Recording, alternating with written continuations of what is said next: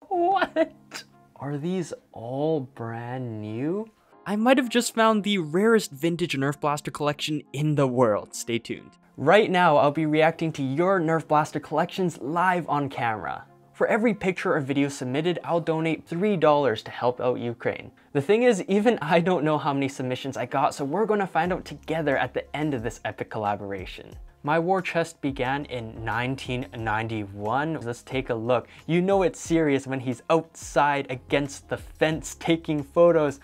Dude, you got the white out long strike. So jealous. This Reddit user said he started a Nerf club 10 years ago. He bought and resold to collectors and to birthday parties, and his hobby gave him opportunities to snag some of his favorite blasters, such as the Long Strike, as you can tell. People would kill to have some of these vintage blasters, and you have some of the original boxes. Uh, uh, the Ratchet Blast, if you've seen one of my recent videos, you would understand the reference here. Oh my god, you got the, the, the, the, the, the, wearable one, the on your head, the Terminator one. I can't remember the name of it. I love this photo. Oh, and you got the Kohl's exclusive Alpha Trooper. I hope you bought this on sale, otherwise it wasn't that great of a price if I remember correctly. You, my friend, you get 5 out of 5. You get the Golden Bread Award.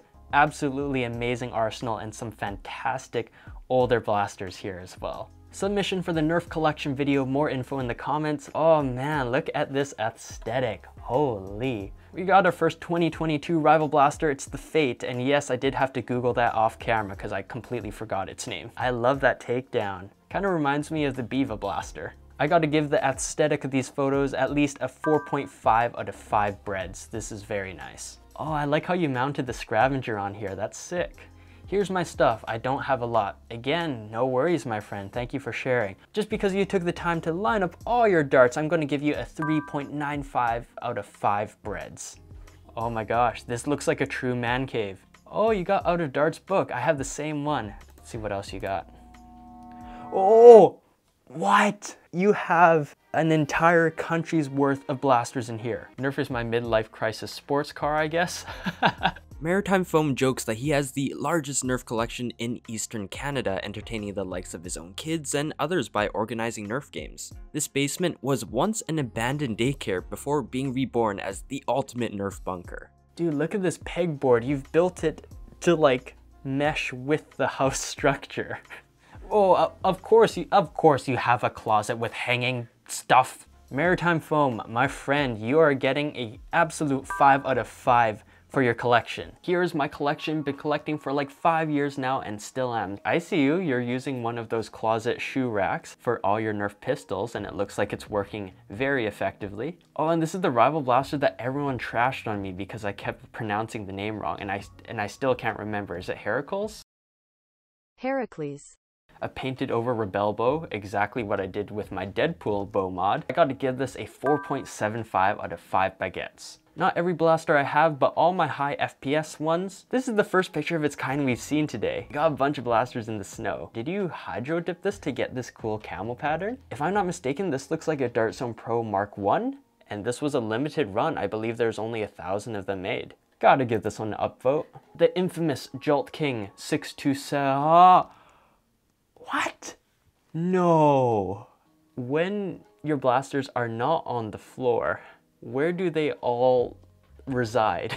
Count the number of jolts with me, folks. We got 1, 2, 3, 4, 5, 6, 7, 8, 11, 12, 13, 17, 18, 19, 19? This is one of the coolest photos we've seen so far. We gotta give it a 5 out of 5 sourdough breads.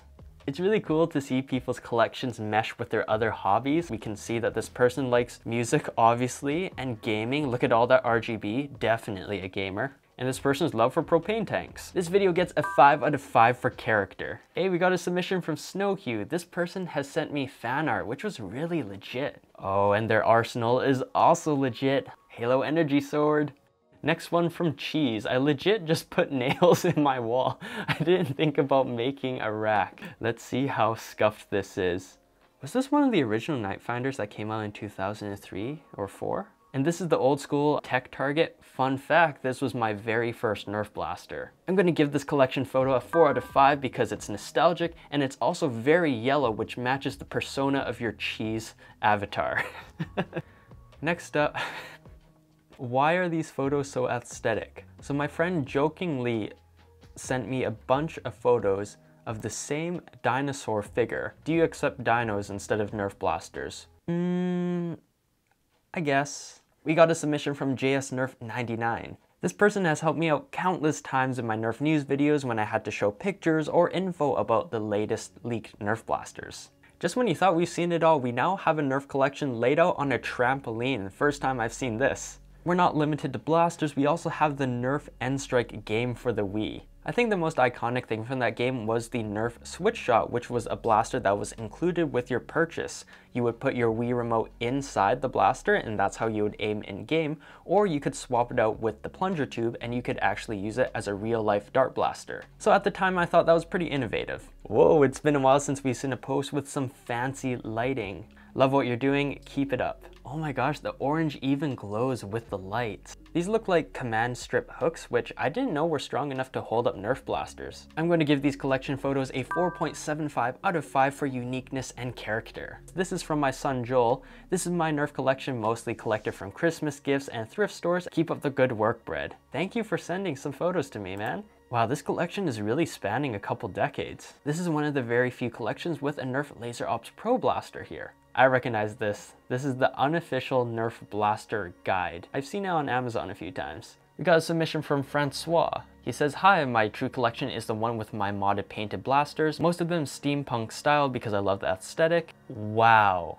Okay, this immediately gets 5 out of 5 for an extremely unique collection that totally fits the steampunk theme. And the Revoltonator. I never thought that it would look this good in steampunk. If I'm not mistaken, this kind of looks like an Adventure Force Blitzfire. Is that a Super Soaker up here? Oh my god, and I just noticed this big chonker here. Uh, what is this called? The boss? No. The judge. The judge. This is one of those cool photos which you can look at for like 30 minutes and notice all these small little details. Yep, that's definitely the proper way to use a Nerf blaster. By the way, I like the way you painted your hammer shot, which is why I painted mine with the same design, just instead of mint green, it's blue. Oh my gosh, look at that. That looks so similar to The Chemist. It's funny because that video that I made with the hammer shot just went absolutely viral and I had no clue that a ton of people were inspired by that and started painting their own hammer shots. This might be the second photo someone has sent of their hammer shot which was inspired by my own and that's that's crazy to think of and, and to see. Well, we got a lot of photos here from Scheme. Wow, that is a lot of stuff. This is a Nerf collection. I wonder if your mag strikes still work because as we know, a lot of them had issues with the airbag and them leaking. Oh cool, first person we've seen with the new X-Shot FaZe Clan Rage Quit Blaster. We got some new inbox foam weapons that looks like it's from the Doomland series. Three Warlock axes. There's the mace, the Stonewall shield, the Zombie Strike sword. Oh, there's more maces up here. Oh, two whiteout long strikes. Is that a red strike Vulcan? Ho, ho, ho, hold up, hold up. Oh, there it is again. Yeah, here's a stock image of the Red Strike Vulcan. And without saying anything, it's just right here. He didn't mention it in the email. That is the biggest shock to me out of everything here. Wow, that is so incredibly rare. Based on the quantity and the quality of your collection, I gotta give you a 5 out of 5. Even if it's only a dollar, I encourage you to donate to help the innocent people affected by the war. On this channel, we promote making a positive impact in our own lives as well as others, and this could be a way to make a slight difference. When you know his name is Vintage Nerf, you know his name is Vintage Nerf. Dude, it feels like I just walked back in time. I've never seen so much vintage Nerf in good condition in a single room. All these rockets in their original packaging. If only if I could see this in person, my jaw would hit the floor into like the basement floor. A vintage Japanese blaster? How hard is it to get that? I've done a couple videos about obscure Nerf products and this was definitely on the list. Unidentified floppy object and it's just like a rubber disc. the reason a collection like this is so astonishing is because these blasters have been kept in box for decades and that is a lot of work because they have a lot of volume. Most people don't have the foresight or the patience to do something like this with products. Man, I hope you have insurance on these things. Okay, someone proved me wrong, but my limited research indicates that this is the largest brand new in box vintage Nerf collection on the internet. Estimating how much this collection is worth is beyond me because of how rare it is to see some of these toys in new condition. If you didn't know, in a lot of cases, brand new in-box condition exponentially raises the rarity and value of practically any vintage toy. To say that this should be featured in a documentary or something is an understatement. 10 out of 5 baguettes, take my money. Now for the final reveal. I counted up all the photos and videos and we have a grand total of 98 submissions. You guys are incredible. So that means we're going to be donating 98 times 3, $294 to the Red Cross. $294 donating now. And there we go. I truly mean it when I say thank you for watching. Hope you do something great today and get that bread.